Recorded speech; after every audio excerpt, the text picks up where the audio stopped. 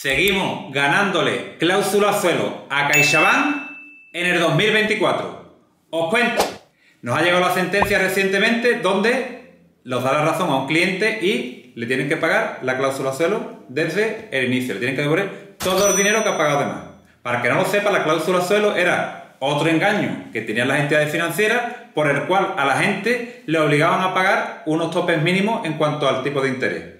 Por lo tanto, cuando bajaba el Euribor, llegaba un momento que se estabilizaba lo que sería la cuota y tenían que pagar unos mínimos. Entonces, todos, todos sabemos ya que eso se declaró nulo y como consecuencia de esta nulidad han devuelto miles y miles de, o cientos de millones de euros, han devuelto una auténtica fortuna.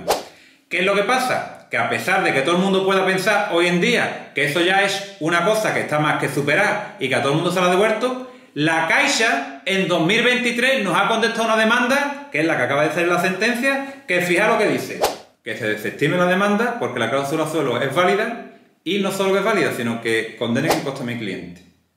Esto lo han, dicho en marzo de 2023, ¿eh? No hace 14 años, no, no, no, no. Este hombre lleva peleando desde 2017 para que le devuelva la cláusula suelo. Y en marzo de 2023, la Caixa dice que la cláusula suelo es válida. Venga, hombre, por favor, por favor. ¿Qué gana de, de, de, qué? De decirle al cliente, no, toma, aquí tiene tres euritos, pero, pero vamos, pero no, fin, para que, para que la gente se conforme y le den cuatro duros, no, pues ahora le van a tener que pagar el dinero total, los intereses y nuestras costas. Por lo tanto, otra más. A los granujas, leña.